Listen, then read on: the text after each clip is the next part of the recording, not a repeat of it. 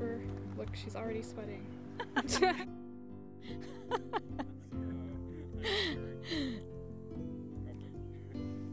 Hello, we're here today at the Furneaux Creek Nature Trail, which is in uh, city of Carrollton.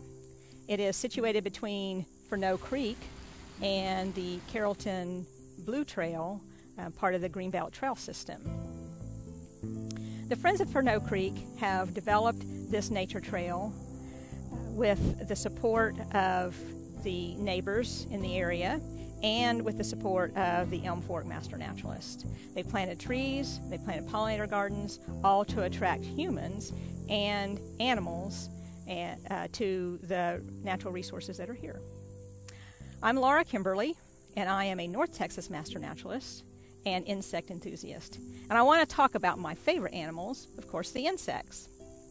We're going to see some beautiful flies, butterflies, dragonflies, bees, wasps, and some bugs, including a very important member of the insect community, the assassins. So here we no, have. do it again because I, I talked right over you. Third time's a charm. You give me a you pointer with. Wasps are also an insect that you'll find in a pollinator garden. Here they're building their nest among the flowers. To build a nest, they gather water from the nearby creek and they come and find some decaying wood and they mix those two together to form a, a paper wasp. This is a type of paper wasp. It's called Hunter's Little Paper Wasp. Mm-hmm. They are a social wasp, meaning that they work collectively to um, build a nest with a with a queen that lays the egg. What is he doing with his antenna in there? I'm, I'm looking at that. It's real interesting. When they build their nest, they use their antenna to measure to make sure that all of the cells are precisely the right size. So you see them using their antenna. So as he's laying down new cellulose, he's kind of measuring, Measuring. how far it is from the next one over or something. yeah, Wow, it's how they that's keep so that cool. hexag- hexagonal shape of each cell in the Mm-hmm. nest. What are they? They're young. Do they feed them somehow? They feed their young a caterpillar. They lay an egg. They bring in a caterpillar before they seal off each each cell. Nice. Wow. So they also use water to um, cool the nest. They might go to the creek, collect water, bring it back, sort of spit it on the nest, and then fan it with their wings to, to cool it down on a hot day. So here we see one of these wasps gathering water, maybe to build, maybe to cool.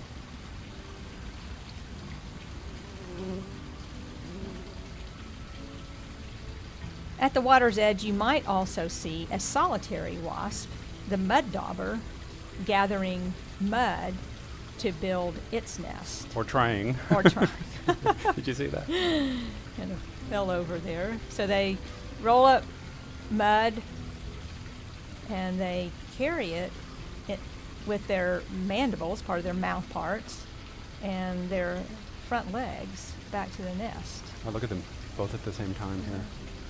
All right, time to launch. That's really big. I think he thinks great. she kind of overdid it there. Barely got off the ground. There's another pair. These aquatic insects are damselflies. This is a mating pair. She is on the leaf with her abdomen in the water, laying her eggs. He is um, attached to her, guarding her to make sure that she is true only to him. So she's In other words, she doesn't cheat with another guy while she's laying her eggs. I get it. Okay. She kind of moves around here. They move in tandem, flapping their wings together in tandem, and back to egg laying. and back to egg laying. And these damselflies are um, American ruby spot damselflies. They're just really, really pretty jewel-like insects, as their name would indicate, Oh yeah, of course. hanging around the pond. Look at that. They catch mosquitoes. nice. This lovely insect is a monarch butterfly. monarchs are famous for their long migration. They uh, there's an adult generation that hangs out in Mexico for the winter, and when spring comes, they begin flying north. And they, when they get as far as northern Mexico or southern Texas, they begin laying eggs, and a new generation is born, and the old one dies off. The, this process continues over two or three generations until they reach uh, the northern United States and, and Canada. And then at the end of the summer, August, September time frame, that generation begins a long flight back to Mexico where they Wow. will overwinter to beat the cold. So is it a nonstop?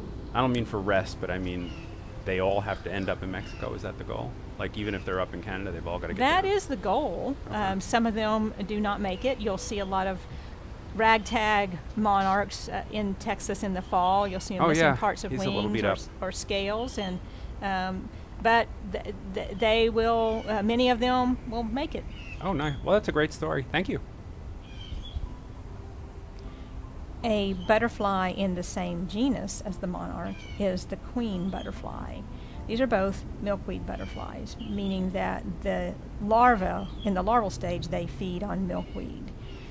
Milkweed is a plant that is poisonous to many other animals, but these butterflies have um, figured out how to use it as a food source and as a source of protection because it's once it's in their system and a bird or other animal tries to catch this, it will be bitter tasting and, and they will not not eat it.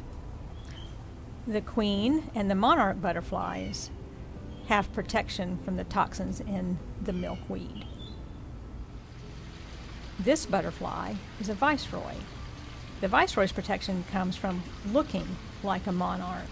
Its host plant is the willow, so it doesn't have the toxins, but it is protected.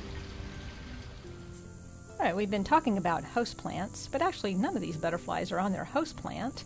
That is their food source as in the larval stage. As adults, they sip nectar, furling and unfurling their proboscis, dipping it into flowers, and getting sugary energy.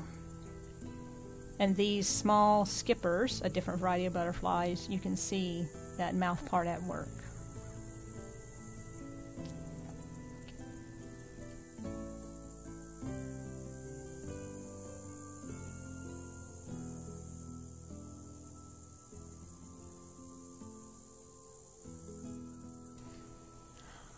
We've been looking at the very beautiful and delicate butterflies, and we're moving now to uh, quite a different insect. These are the assassin bugs.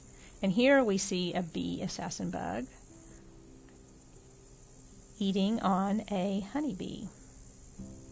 They have a similar mouth part to butterflies, and it's, it's called a proboscis. It's, it's a, a long um, sipping mouth part, but they use it to pierce their prey and then they inject an enzyme that liquefies the insides, and then they can suck it out, and that's how they get their food. So this bug is a predator, is that right? Yes, it is. Look at his eyes. To me, he's saying, "Don't judge me."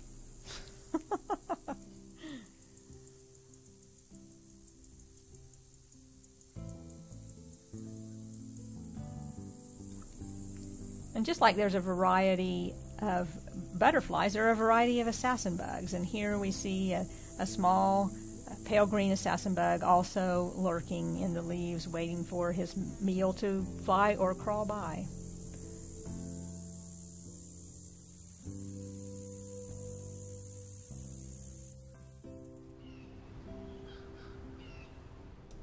And here's an insect that you might really think is a predator, and this is one of the assassin bugs. It's called a wheel bug because of that um, wheel looking structure on his thorax.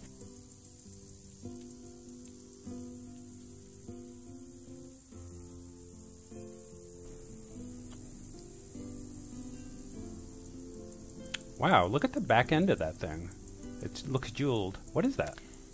So, this is another characteristic of the bug group of insects. Their outer wings are hardened on the top part, but Mhm. they're membranous on the bottom part. More like you would see on a fly or a bee. So is it the dark part that is the membranous part, like the that we see there? Yeah, the part that appears dark here on this side view, yes. Okay. Wow. Okay. Great. Unlike the assassins, this true bug feeds on plant juices. It's a leaf footed bug named for the shape of its hind legs and a nymph still acquiring its wings. You can also see that membranous wing on this shield bug.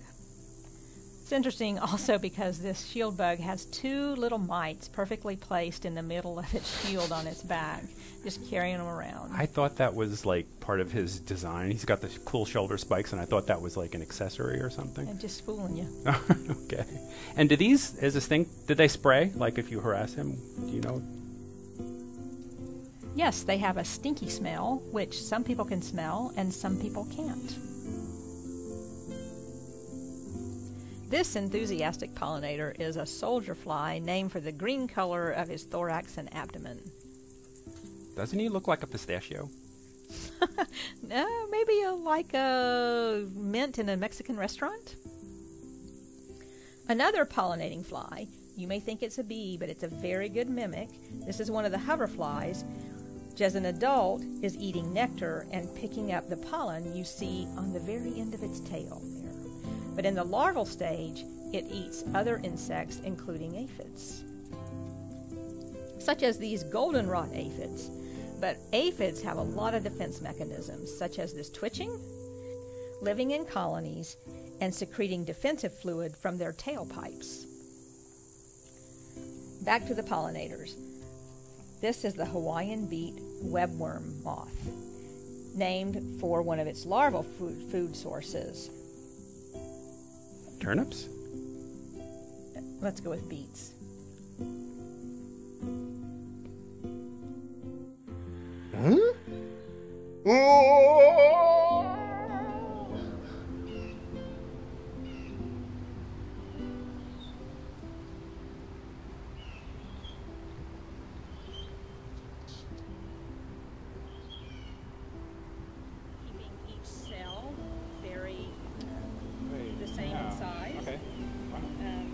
They might also get water on a high